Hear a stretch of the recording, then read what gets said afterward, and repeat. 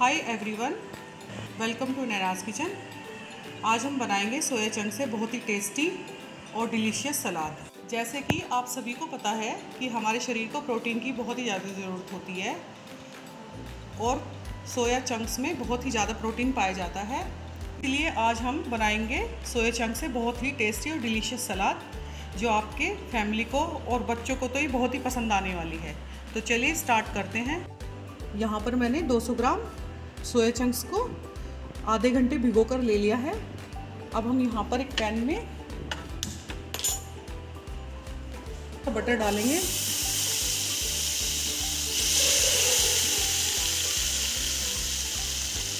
और यहाँ पर एक चम्मच तिल डाल देंगे।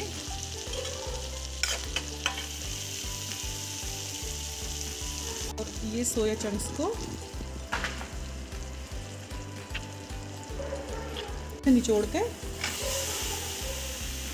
अपने पैन में डाल देंगे।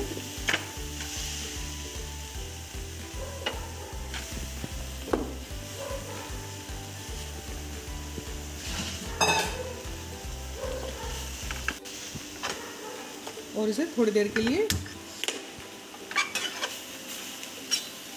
चलाएँगे जिससे इसका कच्चापन सा निकल जाए।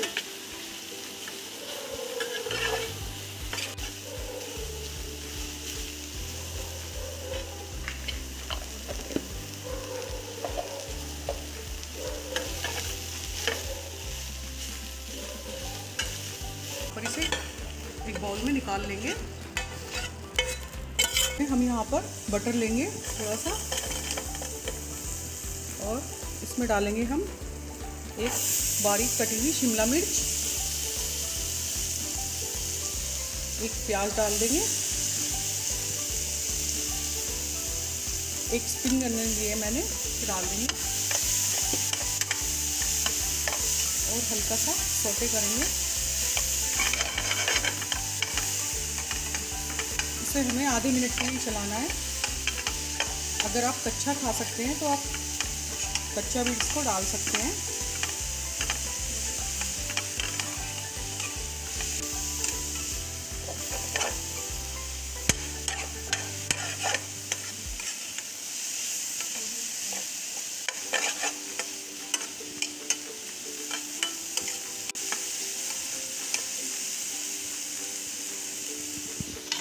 अब हम इसे भी एक बाउल में निकाल लेंगे।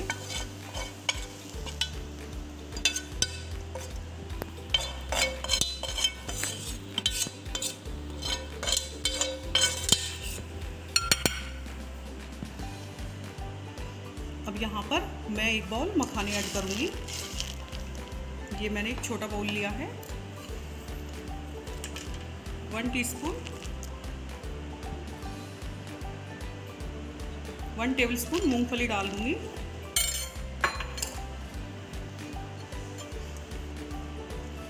थोड़ा सा पुदीना पत्ती ली है मैंने।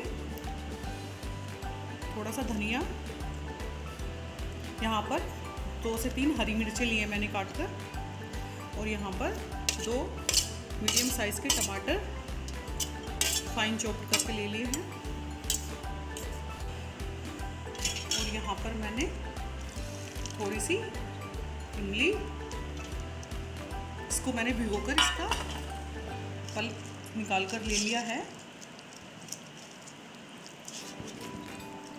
अगर आपको ज़्यादा खट्टा पसंद है तो आप इमली डालिए, नहीं तो इसे अवॉइड भी कर सकते हो। एक टेबल स्पून मैं यहाँ पर पिसी हुई चीनी डाल दूँगी।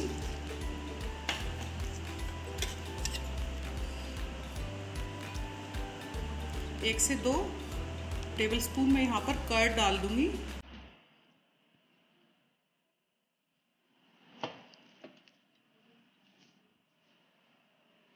मैं यहाँ पर ऐड करूँगी आधा चम्मच काली मिर्च।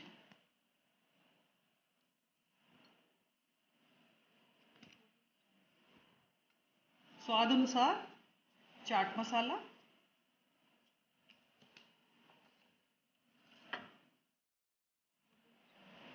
चम्मच काला नमक ऐड करूँगी। और इसे हम अच्छे से मिक्स करेंगे।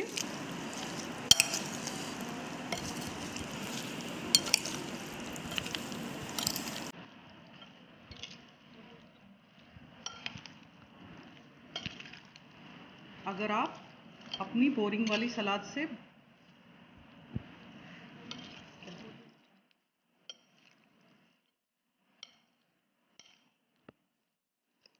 अगर आप डाइट पर हैं तो ये वाली सलाद को आप ट्राई कर सकते हो।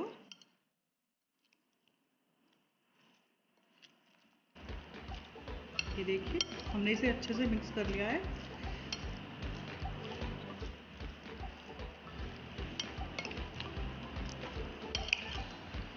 तो फ्रेंड्स, ये देखिए, मेरा सैलड बनकर तैयार है। अगर आपको मेरे सोया चंक्स की सैलड पसंद आई हो तो मेरे चैनल को लाइक करें, सब्सक्राइब करें और कमेंट करें। Thank you